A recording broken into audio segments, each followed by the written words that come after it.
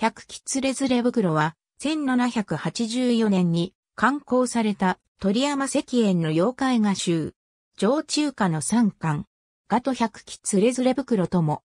ガト百機夜行、根弱ガト続百機、根弱百機周囲と続いた石燕の妖怪画集の中でも最後に刊行されたもの。鳥山石燕の漢本作品としては最晩年の作の一つである。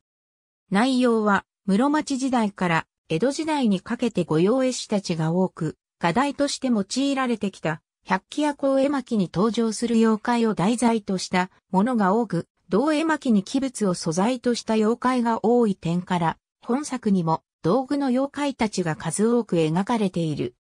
石燕自身による本書の序文には、百鬼夜行絵巻を見た後に、夢の中に出てきた妖怪たちを描いたと記しており、先行している三種の妖怪画集に比べると、妖怪そのものの題材として求める転居にばらつきはなく、一貫した制作構成をとっている。関東と関末には七福神と宝船が描かれているが、これは先行する根弱百機周囲での隠れ里や根弱が都属百機での日の出と思考を同じくするものである。百機や光絵巻を手本とした石燕の創作による妖怪が多数を占めており、その題材となった器物に関連する故事や歌を、つれずれ草や洋曲などから引き、その連想を膨らませている。例えば、チリ塚歌謡。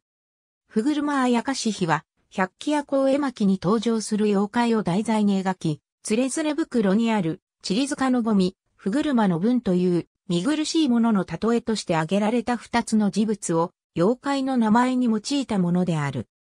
大松丸や、サザ駅に用いられている妖怪は、東京国立博物館所蔵の百鬼夜行絵巻の系統に見られるもので、真珠庵本系統の百鬼夜行絵巻には見られないものである点から、石燕が参照した絵巻は、真珠庵本系統のもの以外の構成を含んだ複数の系統の図様が描かれたものであったとも考えられる。